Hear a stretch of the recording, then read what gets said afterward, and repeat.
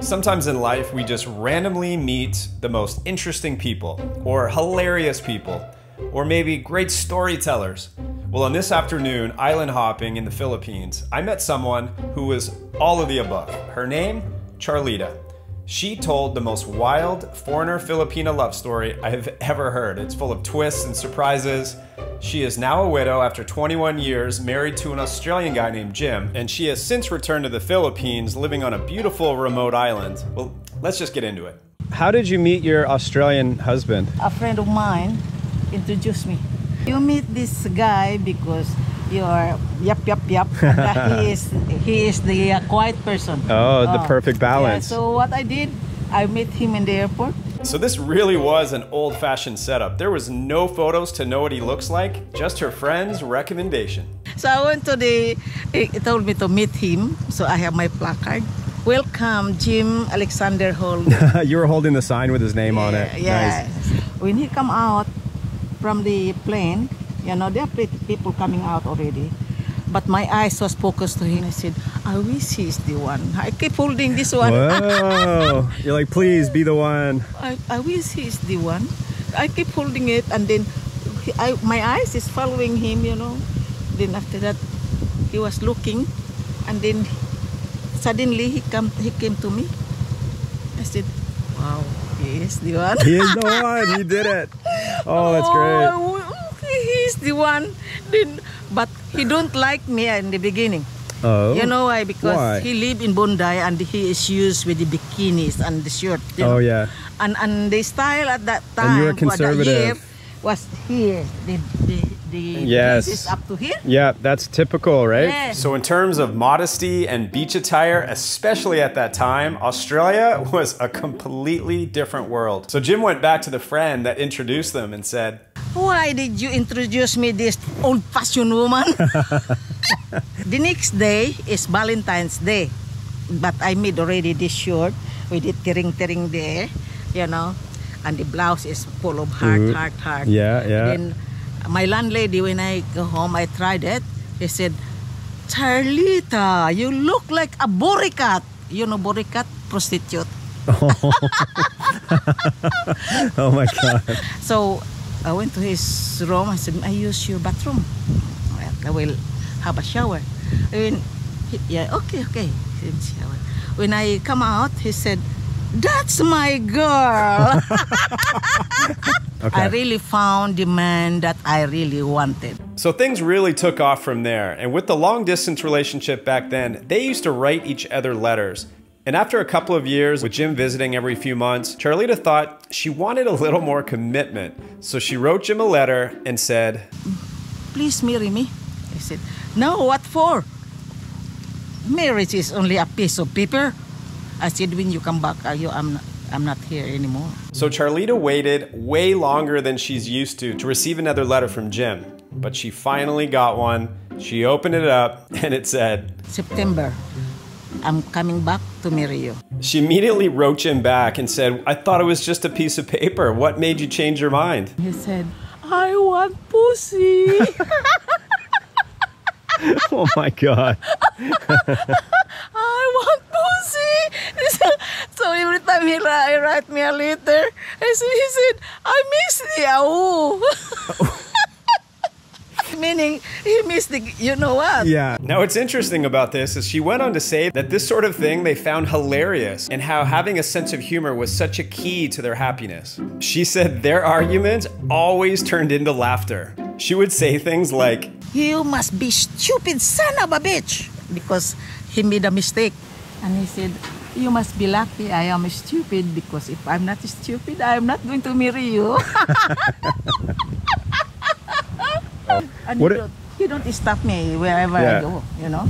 Right. He gave you freedom, you gave him freedom, and you trusted each other. Honesty and freedom. It's so important. And this is where things got interesting in the story because during that time of uncertainty where Jim didn't want to commit to marriage, Charlita's honesty was put to the test with a big, dark secret. And that secret was a man named Hector. He is actually he is a millionaire in Australia. Wait a minute. Hold on. This story just took a turn. Yeah. So you had another Australian boyfriend Yeah. who was an, a millionaire. A millionaire. And you were dating him at, Yeah. like while you were dating this other guy. Yeah. At that time, I'm too naive.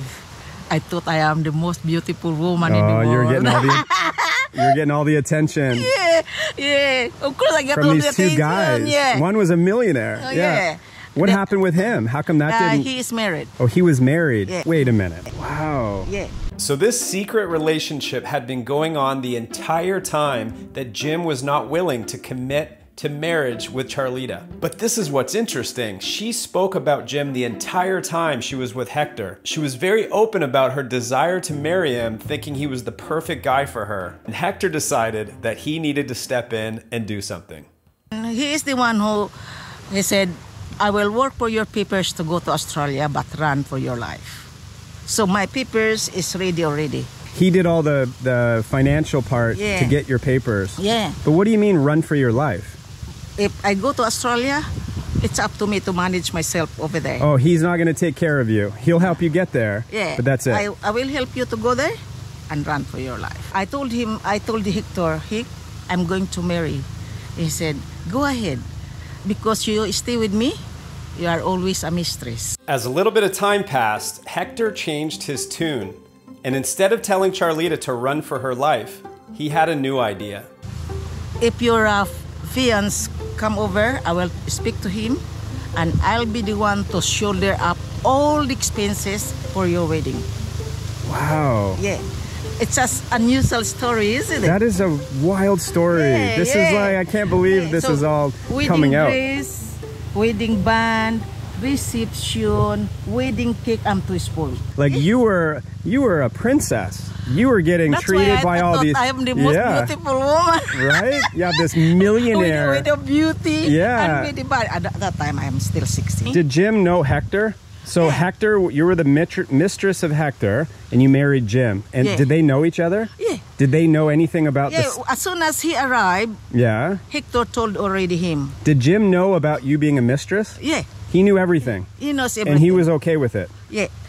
He told he Wow. told Hector, uh, Hector told him, you are getting married and go ahead.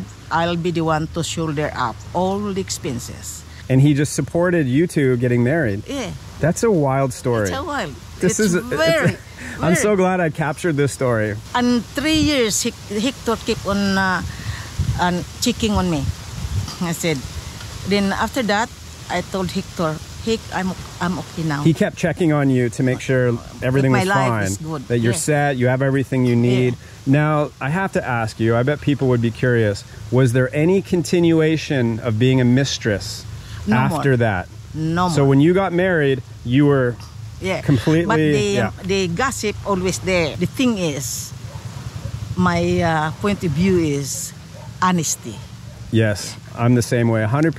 Oh, yeah. It's all about honesty. Because I told him Yeah. I'm going to get married a man, and then I told also this Jim that Jim, this man used to be my boyfriend for how many years? Mm-hmm. Yeah, you didn't keep any secrets from your I husband. I don't keep secrets. Even when he was sick already, uh, prostate cancer, and he kept asking me, "Go and enjoy your life. Go look for a man." Yeah. I said, "No, Mike. I can't betray a man that loves me much." Yeah. And that's what my um, believe. You know, there's people that are having another one and they are already married. Yeah. That shows a lot because about you your Don't, you don't love them yeah. because I love my I love my husband That's very right. Never, never even a single thing because he have prostate cancer for 11 years. You know, never. Mm-hmm. Yeah. Even once. got Plenty of men there. You know. So if you were to say there's one thing, the secret to a successful marriage, you would say it's hon- Honesty. honesty. Honesty is the key. Yeah. Be open about everything. Yeah. Talk about everything. Now you're back here in the Philippines. Are you happy now, like living here? I'm happy. Living uh, a simple I just, life. Yeah. Just think that he is he is only he's coming back. Yeah. Yeah. Right. Yeah. Yeah. His spirit is always around, right? Yeah. They reckon that. Oh, what about the man? I said no. I don't need anymore. Yeah. You've had your fun, huh? I have my fun. yeah. Well, guess what? Australians give hugs, so do Canadians. Nice to meet you. Take care. Alrighty. Well, if I learned anything from Charlita, it's that life is an adventure. Be true to who you really love. Have a sense of humor, and honesty can get you through almost anything. Thanks for watching this one, guys, and we'll see you next time.